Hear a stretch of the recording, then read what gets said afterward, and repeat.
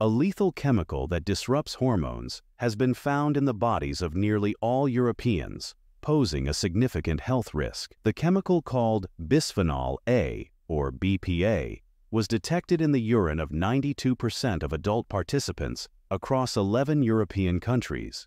BPA is an industrial chemical used in plastics manufacturing and added to many commercial products, including food containers, baby bottles, plastic water bottles, and hygiene products. Although the use of BPA in baby bottles has been banned in Europe and other nations for a decade, it is still widely used in food packaging across the European Union. What's concerning is that BPA can leach out of food or drink containers and into the food or beverages. That's particularly true of foods or beverages that may be stored for long periods in containers with BPA, like canned tomatoes or bottled water.